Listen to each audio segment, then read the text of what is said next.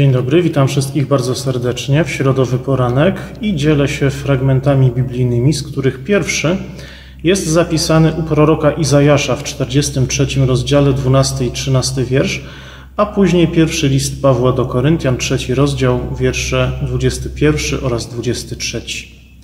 Ja jestem Bogiem i nadal nim będę, i nie ma nikogo, kto by mógł wyrwać z mojej ręki. Gdy ja coś czynię, któż to zmieni?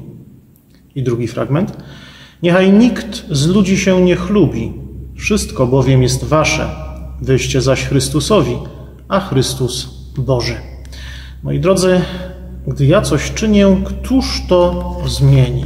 I tak sobie myślę, kiedy Pan Bóg stworzył świat, któż może to zmienić? Pan Bóg stworzył świat i wszystkie zasady, wszystkie reguły, które tym światem rządzą.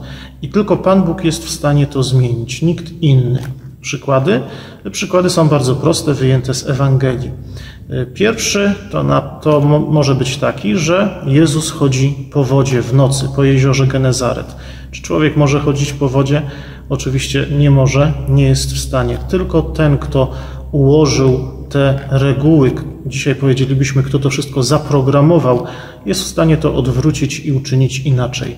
Zatem Jezus chodzi po wodzie, wbrew wszelkim prawom fizyki. Mojżesz y, spowoduje, czy właściwie Bóg za sprawą Mojżesza powoduje, że wody Morza Czerwonego rozstępują się i on wraz z ludem wybranym może przejść y, przez suchą stopą na drugą stronę. To są bardzo podobne y, wydarzenia. W przypadku Pana Jezusa potwierdzają Jego boskość i taka jest ich funkcja. Mojżesz karmi lud Boży na pustyni manną i przepiórkami, a Jezus karmi y, wszystkich, którzy chcą słuchać Jego słowa rybami i chlebami. Raz jest to pięć tysięcy samych mężczyzn, innym razem jest, są to cztery tysiące, zależnie od Ewangelii, y, tak to się układa. Czyli y, tylko Pan Bóg jest w stanie działać wbrew albo zmieniać zasady, które nam nadał, i wtedy takie działanie typu nakarmienie głodnych, typu chodzenie po wodzie nosi znamiona cudu, a biblijnie należałoby właściwie powiedzieć znaku, bo to są znaki boskości Bożego Syna. Gdy ja coś czynię, któż to zmieni? Pan Bóg tylko może coś zmienić, jeśli coś wcześniej uczyni, zaplanuje, zaprogramuje.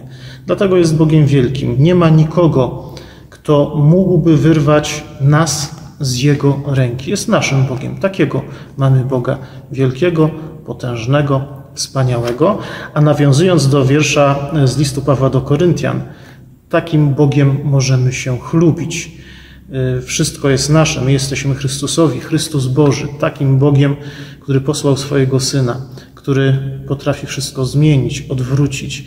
I może nie chodzimy po wodzie, może nie karmimy się tymi przepiórkami, manną albo rybami i chlebem, y, które zostały Mm, udzielone czy podarowane y, pokazaniu na górze, ale przecież też codziennie doświadczamy innych znaków Bożej mocy w naszym życiu, w naszej codzienności. Może ich tak nie interpretujemy, ale to, że rano wstaliśmy, to, że mamy siły, to, że dzieje się coś dobrego, to, że spełniają się nasze modlitwy, gdy y, prosimy Pana Boga o coś, to, że nam Pan Bóg towarzyszy, to są wszystko znaki Jego obecności, Jego miłości, Jego prowadzenia. Y, I może nie zawsze trzeba takich spektakularnych wydarzeń, może nie zawsze konieczne są y, wydarzenia, sytuacje, które są zaprzeczeniem y, wobec praw fizyki i innych. My dostrzegajmy Boże prowadzenie każdego dnia w tym wszystkim, co nam Pan Bóg daje, we wszystkich wydarzeniach. Za nie dziękujmy i chlubmy się tym Bogiem, który jest wielki, który dał nam swojego Syna, a który przede wszystkim stwarza nam możliwość życia nie tylko doczesnego, ale tego pozadoczesnego w Bożym Królestwie. Dzieje się to wszystko przez krzyż, przez ofiarę tego wszechmogącego Boga, który wszystko potrafi. Za tego Boga dziękujmy, temu Bogu bądźmy posłuszni, tego Boga z ufnością, radością i optymizmem wyznawajmy. Dobrego, błogosławionego dnia. Amen.